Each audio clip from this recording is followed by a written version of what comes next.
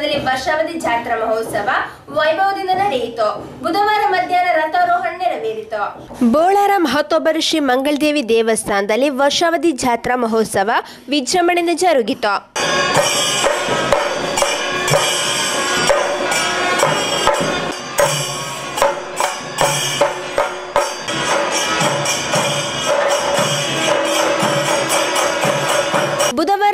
ಶ್ರೀದೇವರ ಸುತ್ತುಬಳಿಯ ನಂತರ ದೇವರು ರಥಾರೂಢರಾದರು.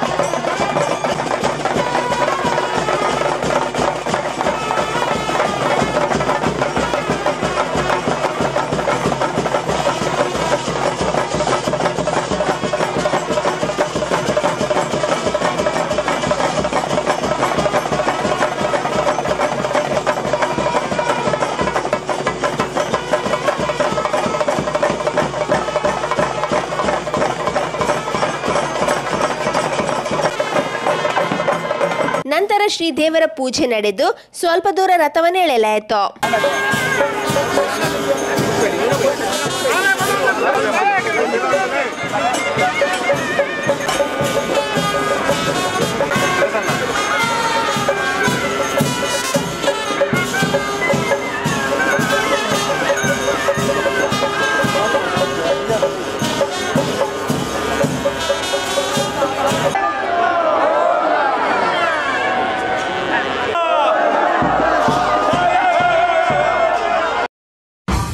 Bye.